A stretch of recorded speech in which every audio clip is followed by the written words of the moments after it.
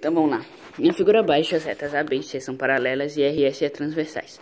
Se a medida de AB é 7 e a medida de BC é 14, a medida de AB é 10, a medida de BC é quanto?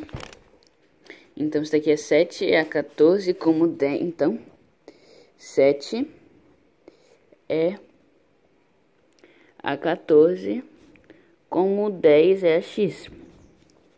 Fica 7x igual a 140. Divide por 7 em ambos os lados. x igual a 20. Para determinar a altura de um edifício, seu zelador usou um artifício. Mediu essa sombra, mediu a sombra do prédio, que deu 6 metros. Então, tá, a gente tem um prédio aqui. A sombra dele deu 6 metros. Então, isso daqui vale 6. O prédio que a gente quer saber vale x.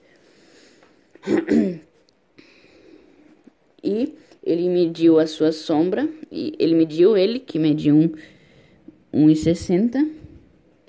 E deu... Tá, não tá errado aqui. Não é proporcional, mas aqui é 0,20, tá? Então, x é 6, x é 6, como 1,60 é 0,20. Então, a gente multiplica por 6.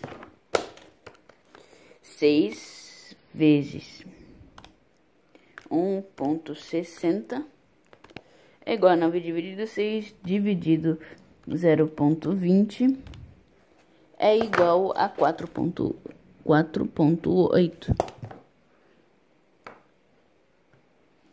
Então, é... Isso aqui é 4 ponto, é, na verdade, aqui deu, é, dá 48. Desculpa, é 48. Então, o prédio mede 48 metros.